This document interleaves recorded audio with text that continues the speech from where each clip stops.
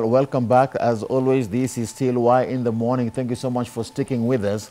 You're just in time for the next discussion of the day. And uh, it's all about youth and politics today, right here on uh, Why in the Morning. My name is Ram Aguko. Uh, it's a pleasure being with you today on this fine Monday morning, on this third day of October 2022. A lot is taking place in the country, and we want to take a look at some of these issues and put them into perspective. Now, even as we do that, I have with me a copy of the People Daily. And this is the paper that we shall just highlight uh, today as we take a look at what is uh, trending on uh, uh this particular paper. Just a few stories uh, that are there. And uh, even as, as we talk about this, to my far right, I am with Joshua Korir. She, I mean, he is a youth policy analyst. Karibu sana Joshua. Thank you. How are you feeling? I'm feeling good, thank you. Asante sana. And uh, next to him, I'm with Ann Ichungwa. She is f- a strategy and finance consultant. Karibu sana Ann. Thank you so much for having me. How are you feeling, my, my, my Very dear? great. Thank you so much for finding time to join me. And of course, I value your feedback. Wherever you are watching us from, being, be part of this discussion, even as we start on matters concerning you and the nation. And on the front page of the People, People Daily, KRA is in limbo over State House Road. And this is the one, uh, this is the, what we are going to start with because as we speak today, uh, two directives from President William Ruto and his deputy Rigathi Gachagua have left the uh, KRA's hands tied in the war against counterfeit and uh, tax evasion. Uh, one senior KRA official told the People Daily that the agency is no longer pursuing new cases of tax cheats and deals in counterfeit as they await clear directions from the executive. And of course, sources say that KRA has slowed down on the crackdown uh, and at uh, present and presently is only pursuing active court cases. What does this mean for the economy? Because this has left the door wide open for illegal imports that deny Kenya much needed tax. And uh, we have uh, this fear of upsetting the president and his deputy. Let me start with you, Ann. What do you think about this particular issue? Now the KRA is in limbo. Well, surprising enough, we are looking at a, a fight between two entities. We're looking at the local market and you're looking at the people who are bringing in goods, which we are calling the export market. Yeah. Now, what happens is that uh, the people who are uh, buying and manufacturing local, they are going to have competition because they will be competing with goods that are counterfeit, goods that people probably they have gotten into the market Yeah, yeah. using the illegal ways, goods that probably are even cheaper than what the local market will be selling at. Mm-hmm. So what that means to a local trader or what that means to our economy is that we will forsake the local manufactured good for the sake of the import, which are a bit cheaper. But for KRA, what that also means is that there will be a reduction in revenue collection. Because remember, these goods are getting through the back door. These goods are getting through, they're not registered traders. They're not legal papers and documentation to have the goods in the market. So they cannot actually go after them to collect taxes. So we are looking at the reduction of revenue and also competition at the local market. And I'm looking at this affecting the economy in the long term. Um, uh, how bad can it go? Um, at the end of the day, we need money to come in to the country. We need money to, to bring uh, uh, our revenue up. This doesn't seem to be doing that. Everybody knows that uh, the biggest uh, revenue, how the government gets money, is through tax. And definitely, if there are no streamlined processes and structure to allow us collect uh, that tax, that means we are looking at uh, eventually uh, year in year out reducing our tax collection. So the impact will def- definitely be hard because the revenue will be reduced. But when you look at uh, if there are other ways, bes- because if it calls upon promoting the local economy, it doesn't mean that there are not traders in the local economy Yeah. who can legally put up their businesses and who can legally pay taxes to avoid this gap. Yeah. So I, I would think much of the attention will be focused on the local economy to allow them register so that they can legally pay the, uh, the taxes and let them run the uh, let them let them run their businesses. Uh, what I'm talking about is uh, if you look at case in point, the local businesses that are operating in Kenya, they could be doing well, but the environment is not conducive for them. So what does that mean? That they're also going to reduce in terms of evading and paying taxes. Mm-hmm. They would prefer not to have the licenses. Mm. Others will be trading without their licenses. Mm-hmm. That is reduction of revenue to the government. Exactly, exactly. There are others who probably would, would prefer uh, not to register legally, run a business entity, a business name, a corporate name. These are sources that they are denying the government mm. in terms of revenue collection. And eventually, as you have said, in the long term, is a reduction of revenue collection for the government. And I'm, I'm, looking at counterfeits. You've, you, you've mentioned that, Ann, and the amount in terms of billions, we're looking at a hundred that Kenya is said to lose annually to counterfeit. And let me come to you, Joshua. What are your thoughts in regards to this? And do you agree with what Ann has said? Um, are we going to see uh, the economy going down? Remember, one pillar that the president and his deputy was using during their campaign was the bottom-up economy. Yeah. They were talking about economic development. Does this promote that particular agenda? No, to start with, you know, Ann is a business expert, so she looks at it from the standpoint of, of being a Mm. business expert. I'm a political scientist, so I look at it from, from the point of politics and everything around it. Mhm. For starters, in the past regime, the excuse of calling uh, the commodities of businessmen and the entrepreneurs counterfeit was an excuse for those close to power to make sure that they kill other businesses and they're the ones who control the business. Mm. So, in as much as I don't stand for the idea of having counterfeit goods in our markets, but it's, a, it's necessary for us now to ensure that things are put on hold and we wait for the KRA reform because you remember when the president was in parliament, he proposed that uh, Kenya Revenue Authority be reformed to Kenya Revenue Services mm -hmm. to Mhm. make it friendlier Yeah. to people who are doing business. So I think it is necessary for us to uh, take it slow, wait and see, uh, wait for the reforms, so that as um, as the reforms go on, we'll, we're going to see the white from the black. Mhm. We're going to know which are the counterfeit goods and which are not, because as at now there's a thin line. We, do, we don't understand whether they are really counterfeit or there's someone in there who was running that business who called it counterfeit so that they can have space for their own for their own goods to come in. You, you, you, you're talking about politics, Yeah. and I'm looking at uh, at um, two instances here: the the president and the DP. What they individually, what they uh, were talking about. The president said this. President Ruto said, and I quote, that we have already agreed with them, that's the KRA, that they will have decorum and respect, and we will plan together with them so that every Kenyan pays their tax. End of quote.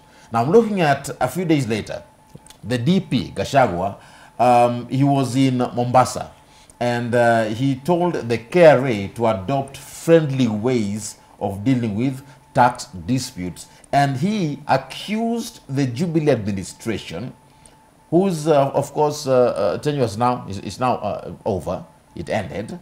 He accused it of using state agencies like KRA to create a toxic environment for businesses through unnecessary crackdowns. And now we are seeing crackdowns being reduced. Yeah. They have gone to court cases. They have gone to court cases. Uh-huh. And at least now that we have a new regime, we can we can start relooking at a lot of the things that, that were being done during the Jubilee government. And uh, to add on to what she said, we also live in a country where it's very expensive to set up business. So people will will tend to use the back door to ensure that they, they make something for themselves. So we'll have a lot of illegal business and counterfeits. Mm -hmm. So Mhm. on that again, uh, I, I support her in saying it's good that we look at the counterfeit, but before we go ahead and look at what is counterfeit from what is not, we have to make sure we are doing the right thing so that we don't punish people who are being wrongfully accused of being counterfeit traders when they're actually just entrepreneurs who are So, running so, so, so do you agree with uh, the DP when he said that uh, uh, the previous uh, regime was using agencies like KRA to create a very toxic environment for businesses? Yes.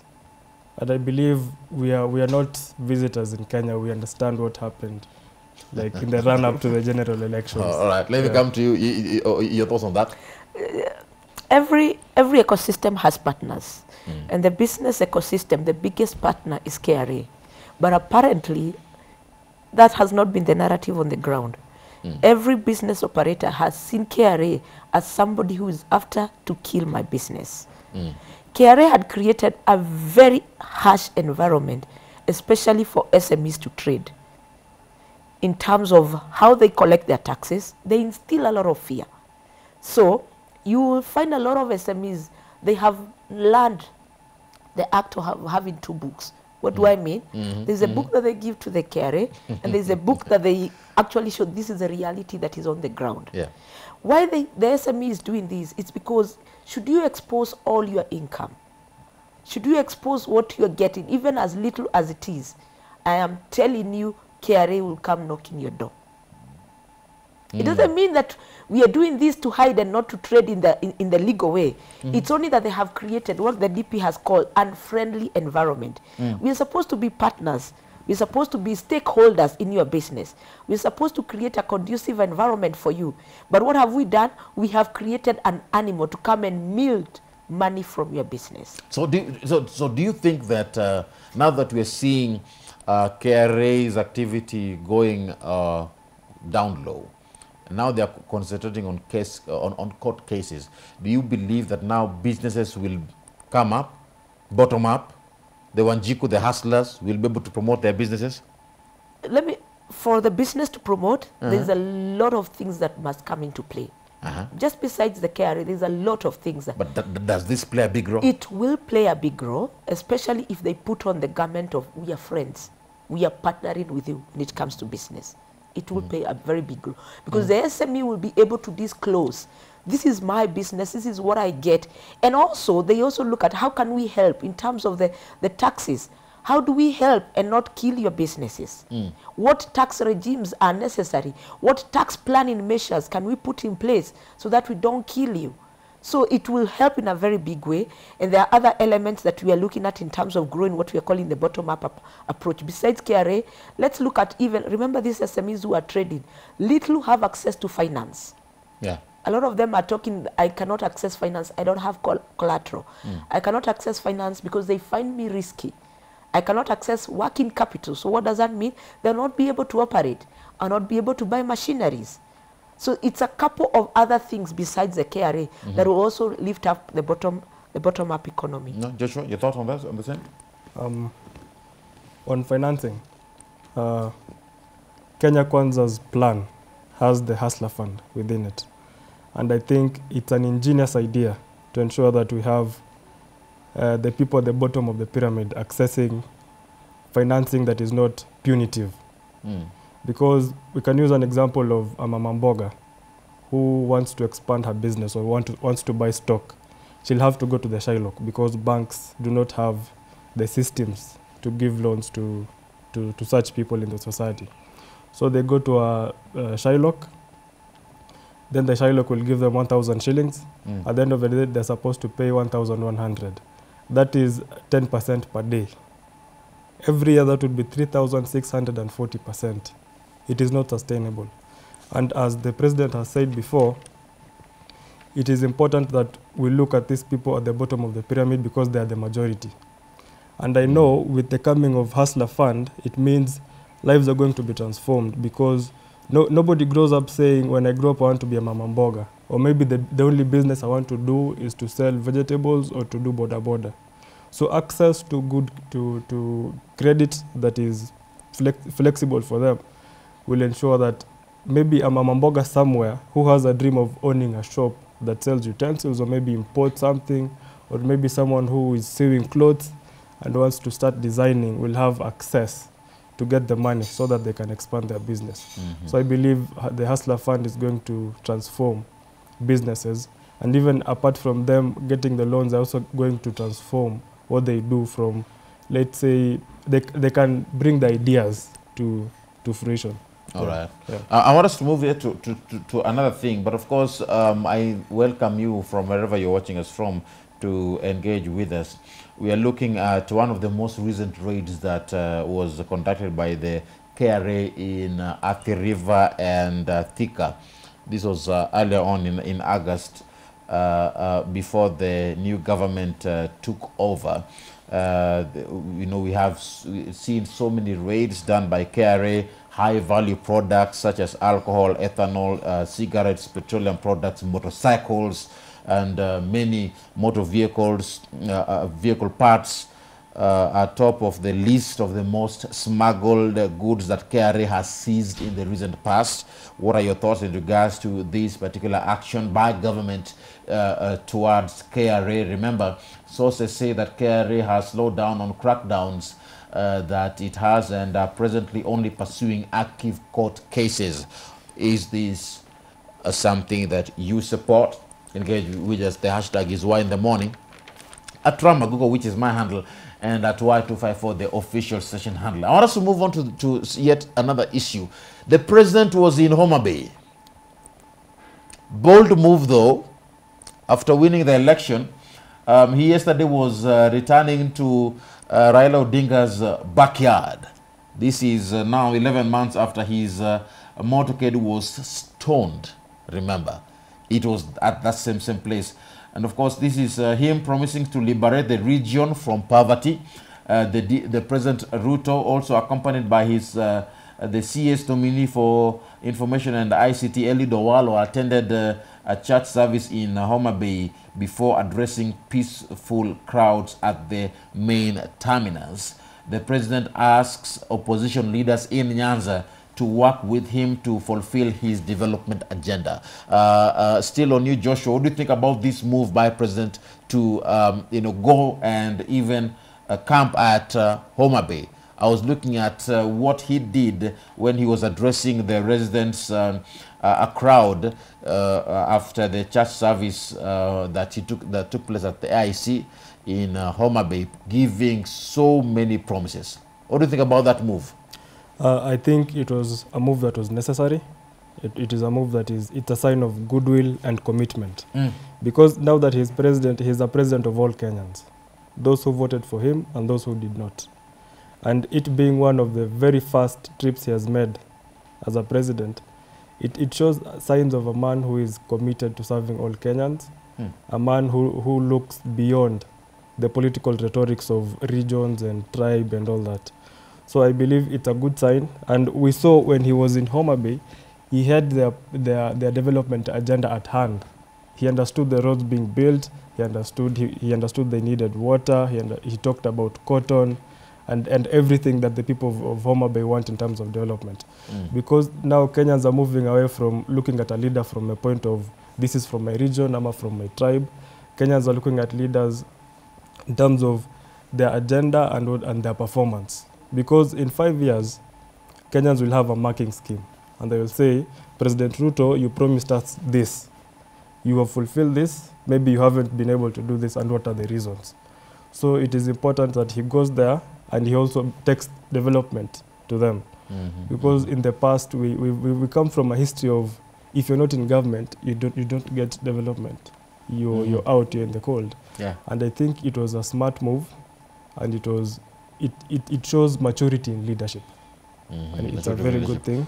And, and, and, and I'm looking at this move still.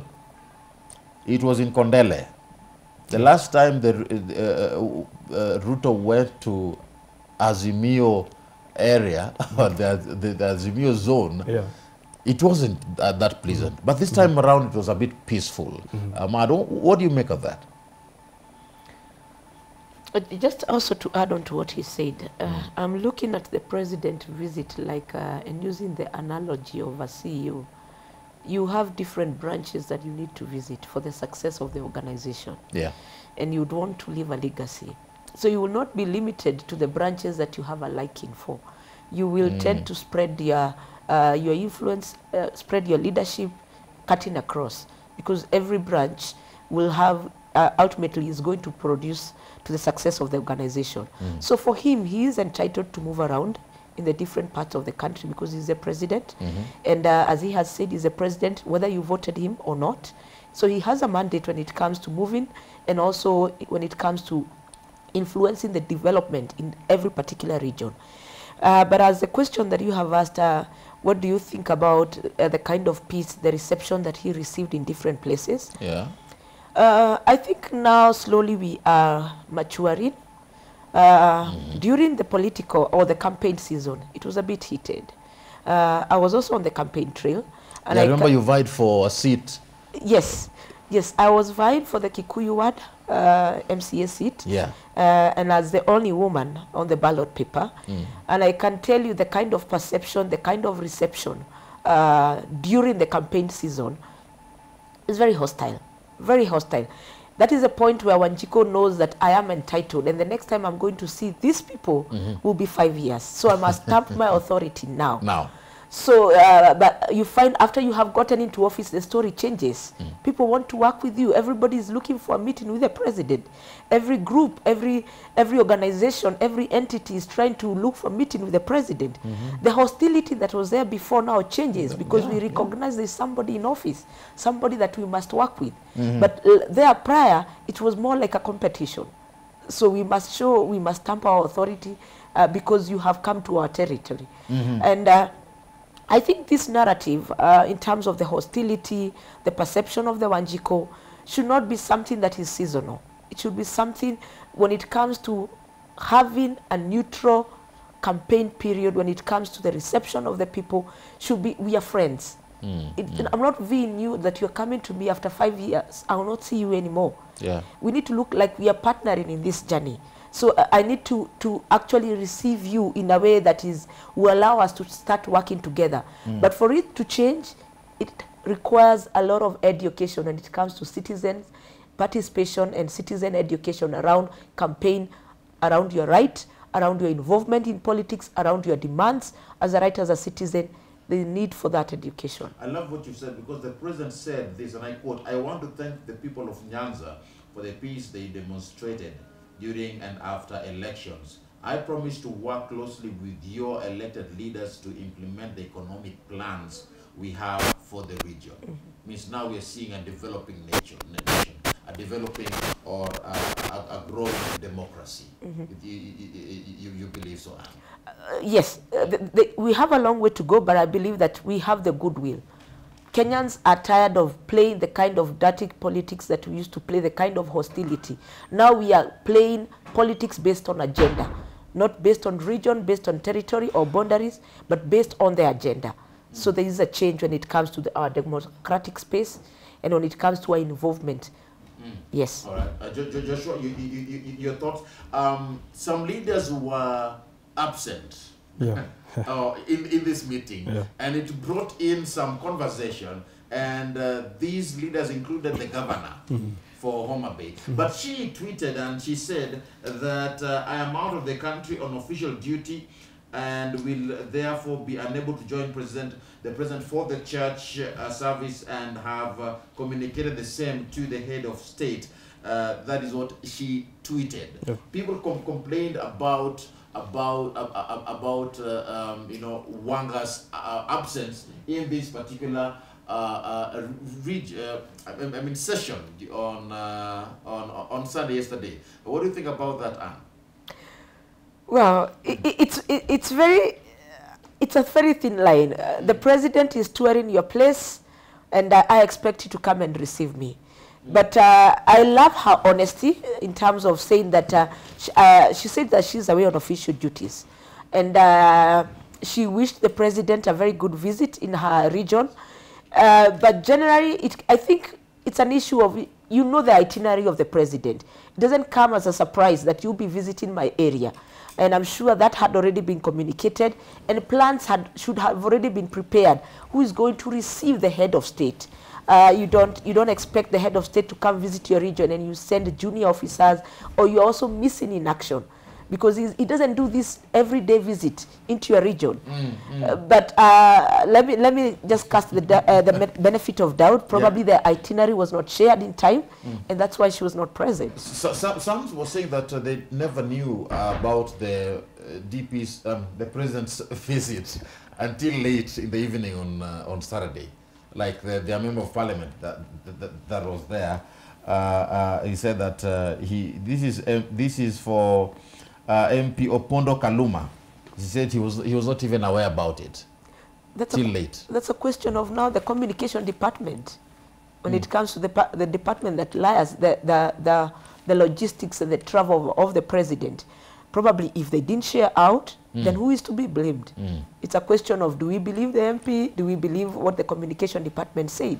But I think uh, over and above that, we are looking at uh, a head of state and we are looking at not having impromptu visit. I doubt whether a head of state can have impromptu visit. All right. Joshua? Yeah, I think um, saying they, they did not know is a lie. They're just playing politics with, uh, with the whole visit of the president. And I think we should not sacrifice development on the altar of loyalty. Because as you understand how, how politics works within Nyanza is that you have to be loyal to one person. If you're seen to be with the opponent, Mm. then you're a traitor. All right. So All I right. think what they're doing is to ensure that they maintain their political influence because we understand their, their party leader is pretty powerful in Nyanza.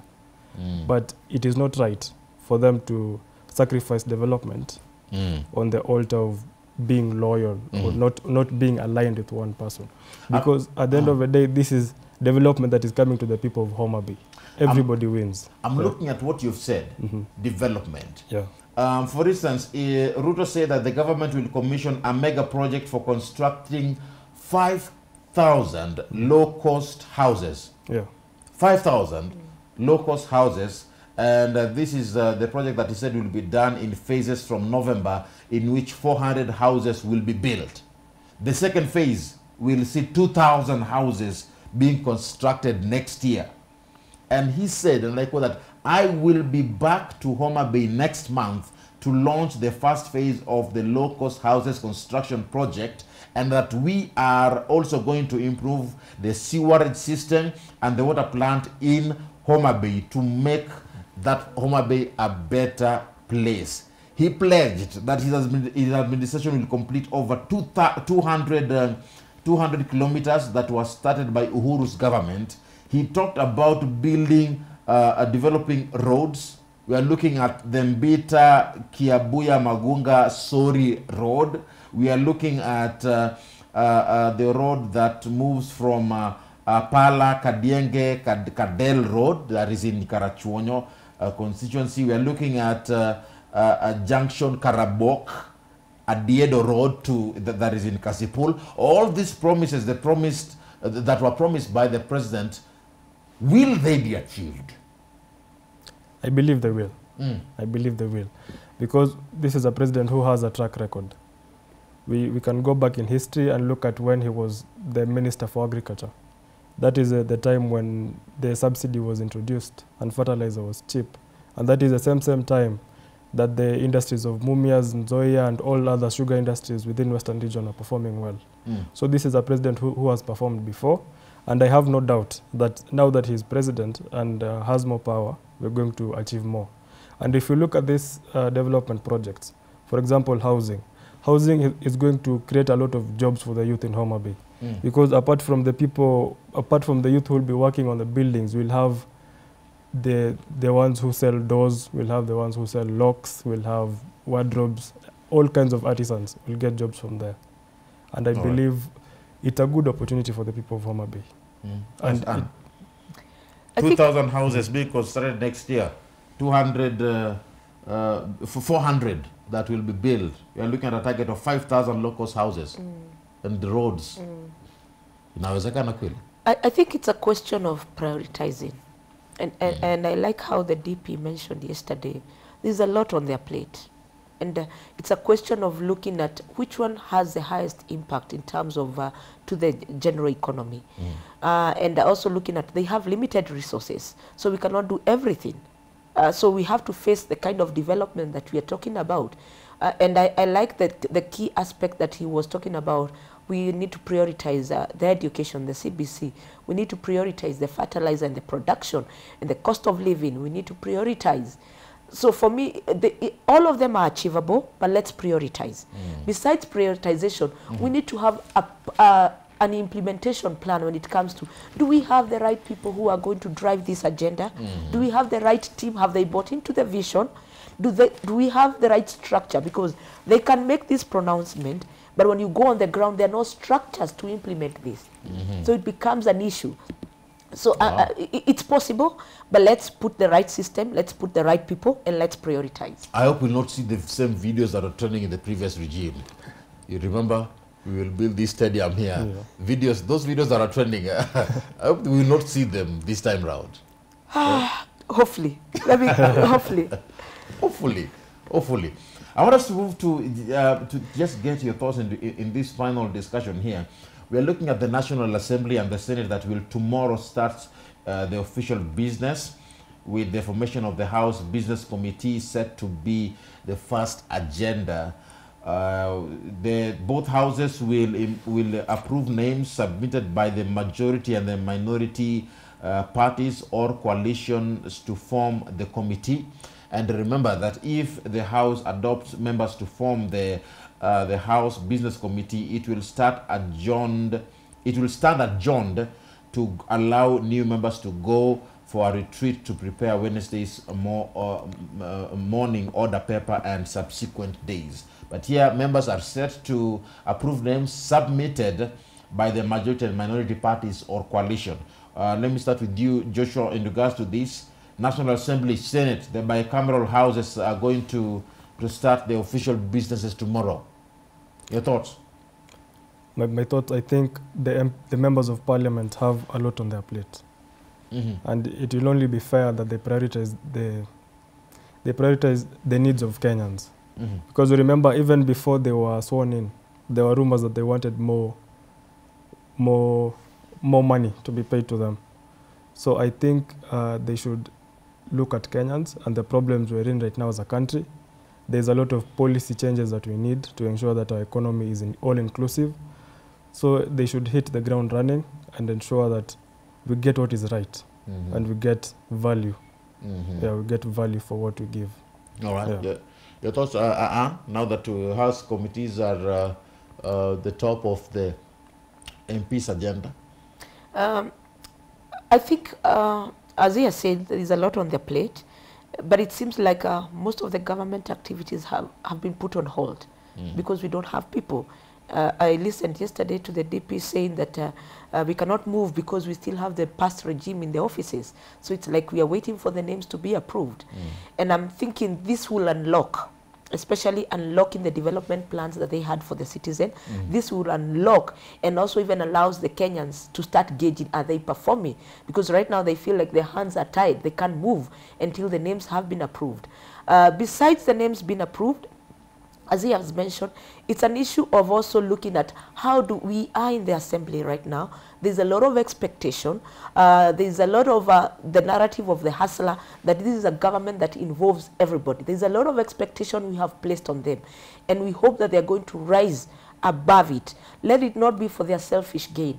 Let it not be, it's about me, it's about increase of incentive, increase of salary, but let it be about growing the economy. So we have put a lot of expectation on them in terms of delivering the priority and the promises that they had given to the Kenyans.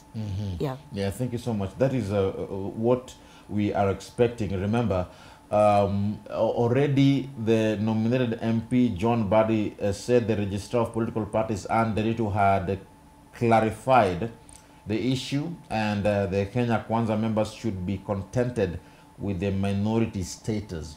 Uh, what is uh, it that we should be expecting in terms of, how, of the House Business Committee? Remember, the, the House Business Committee, Committee consists of the Speaker, who is the chairperson, the leader of majority party, the leader of minority party, and not less than 21 and not more than 29 members that consist of the House Business Committee. If the House rejects the nominees, it will stand adjourned until the Speaker notifies members for another sitting, which must be at least to, uh, uh, 12 hours before the sitting. Uh, this is, uh, is- what we are expecting to see tomorrow at the National Assembly, uh, at, uh, and, and of course, uh, generally in Parliament, where we are looking at the House Business Committee set to be the top of our MP's agenda. I want us to bring this discussion to a close, and I want to give you, uh, both of you, time to have a final word to talk to Kenyans. What would be your parting shot? I will start with you, Joshua, to talk to your fellow youths uh, in regards to what we have discussed and any other that, that comes in your mind. What's your parting shot?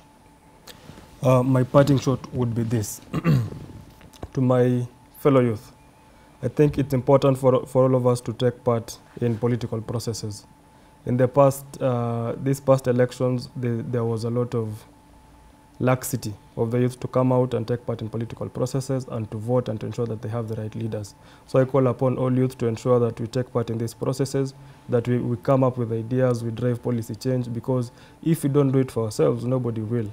If we have these ideas, then we have to come forward and make sure that we're the ones pushing them. So apart from that, I have nothing else to say. There's a lot of hope, and I wish the new government well. Mhm. And I know that they're going to perform, and uh, no doubt about it. In the next five years, Mhm. as we get to 2027, we'll have transformed greatly. So Alright. thank you so much. All right, thank you so much. Uh, Ann, final word. Uh, yes, same as to add what, what he has said. Uh, it's just to call upon the youth to rise up. Uh, let our voice be heard as youth. Uh, I remember during the campaign trail, the, and also during the campaign period, the youth did not come out to vote. The youth were not involved. The youth just sat back and said, let's wait and see. Mine is to encourage you that you have a critical role to play when it comes to the development of the area. The other issue is about the unemployment. I can tell you during the campaign trail, the cry that was on the ground was about unemployment. I would like to encourage the youth. It's not about the blue collar job. There's a lot of creativity and a lot of innovation that is on the ground. All that we need to do is to harness it. What do I mean to harness? You need to have the right people, the right mentor to guide you and to hold you. You don't need even a lot of money, you just need the connections. And the connections, I am seeing a lot of platform, people willing to guide and mentor the youth. So rise up, get out, don't go into depression because there's a lot of youth who are going into depression, health issue, and also issues of alcohol. Mine is to reach out to the youth, and there is hope, but you must play a part. You must play a part in terms of identifying yourself and knowing what do I want out of my life. Right. That will be my part in short. Asante sana. Thank you so much, Ann. That is, that, that is uh, Ann uh, Ichungwa, who is uh, a strategy and finance consultant, and uh, uh, Joshua Korir, who is a youth policy analyst. And, uh, Ann, you, you vied for the MCA seat at uh, Kikuyu word. Kuyu Ward. Yes. Hope all is well. Apparently, I did not clinch the seat, uh, but but I, but but I got a good in terms of limelight and people knowing me, uh, and uh, a good space because uh, I resonated with the women, I resonated with the young youth, and hopefully, the, come the next time, I will be given a chance to serve them. Thank you so much. Yes. And, and, and Joshua, political science student. Yes. Yeah? Yeah. Asante sana. Thank you so much for, for coming. I appreciate it. Thank you for Thank you having for us. having us. All right, and of course, that brings us to the end of this uh, discussion right here on Y in the Morning. It has been all about matters concerning youth and politics. My name is Ram Aguko. We are taking a short break, but remember, we still have more waiting for you after this short break right here on Y in the Morning. Brian Sako will be coming up with the next discussion of the day. May God bless you. May God bless the work of your hands. Let's take a short break. We'll be back in a bit.